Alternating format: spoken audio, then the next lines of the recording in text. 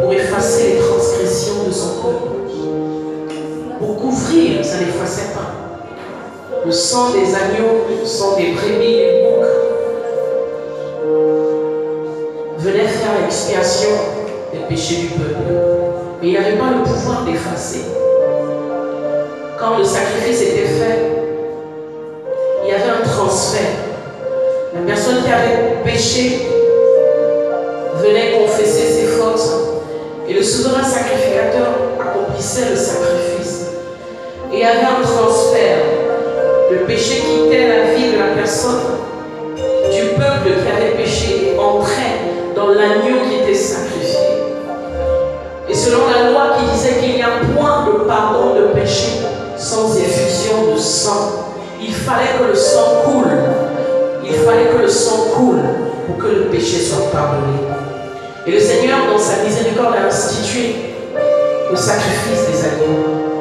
Et une fois que le sang coulait et que les péchés étaient transférés dans l'animal, le péché est pardonné. Parce que le sang de cet animal venait pour couvrir. Mais Dieu, dans son amour parfait, a réalisé que ce sang ne pouvait pas effacer, effacer la faute. Il ne faisait que couvrir, il ne faisait que cacher.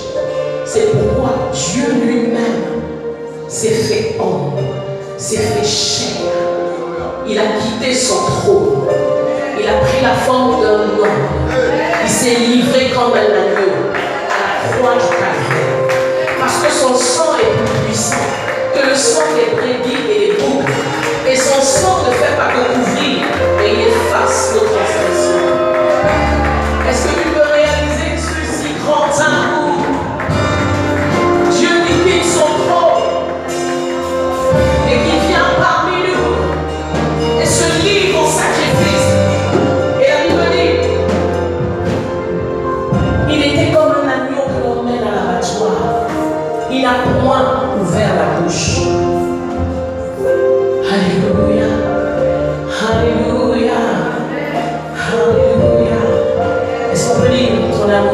amour Ton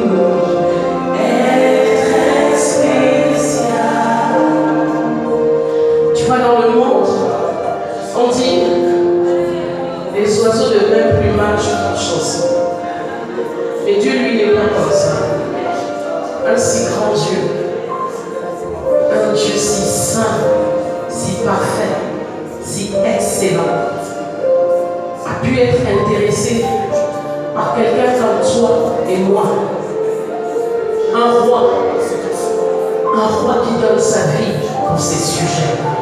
Un père qui donne sa vie pour ses enfants. Un pasteur qui donne sa vie pour ses brebis. C'est pourquoi son amitié est précieuse.